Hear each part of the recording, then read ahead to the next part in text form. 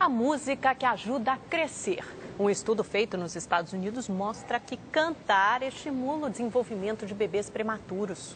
No Brasil, 280 mil crianças nascem antes dos nove meses de gestação todo ano, segundo a Organização Mundial da Saúde.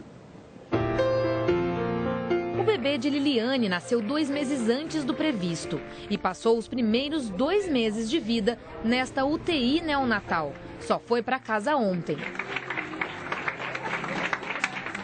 Foi com a ajuda da música que Lincoln ganhou peso. Então ele aprendeu a respirar aqui na UTI e a música sempre ajudou. Eu ficava cantando para ele, né, dentro da incubadora. Uma pesquisa realizada em 11 hospitais nos Estados Unidos descobriu que cantar ajuda no desenvolvimento de bebês nascidos antes do tempo. O estudo foi feito com música cantada ao lado da criança.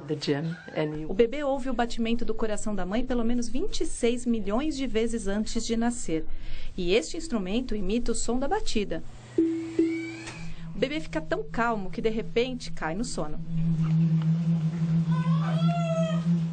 Nesta UTI neonatal, três vezes ao dia, as luzes são apagadas e os bebês prematuros são ninados com uma música ambiente. O som agradável, segundo os pesquisadores, reduz o nível de estresse e melhora os sinais vitais das crianças. Nesse momento a gente não manipula a criança, a criança tem um conforto, diminui o estresse, tem uma menor perda de energia e, consequentemente, um ganho de peso realmente para o bebê.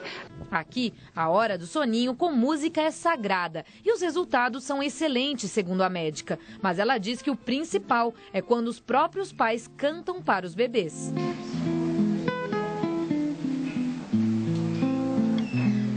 Isso melhora muito a, a, o vínculo afetivo mesmo da família e do recém-nascido.